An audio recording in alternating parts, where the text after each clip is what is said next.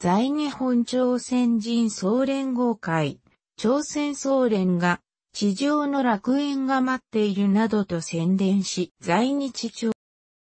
韓国人や日本人配偶者ら9万人以上が北朝鮮に渡った帰還事業の開始から14日で60年になるのに帰還者5人が12日、東京都内で記者会見を開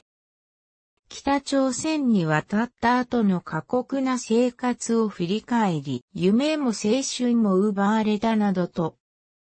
今なお消えない苦しみや怒りをあらわにした。脱北して、日本、韓国に住む機関車と支援団体が主。2009年まで約50年を北朝鮮で過ごしたというテギョンさん67は機関車の多くは国民を階層化する北朝鮮で、敵対階層によ監視や差別の対象だったと説明。自国に戻ることを信じ、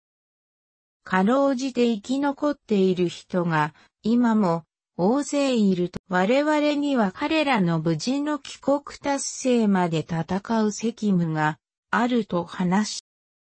高校時代から約45年間を北朝鮮で過ごした日本在住の男性73は北朝鮮の政治宣伝に騙す夢も青春も剥奪された。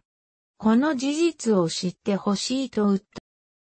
また機関車の一人は北朝鮮で1970年代対日戦争を想定日本の地理に詳しい機関車を集めた狙撃隊が編成されていたと称、支援団体が14、15の両日。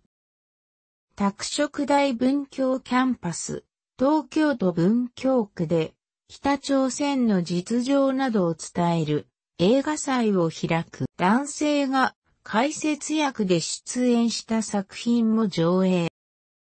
問い合わせは北朝鮮機関事業60年北朝鮮二次人権映画祭実行委員会3.56845058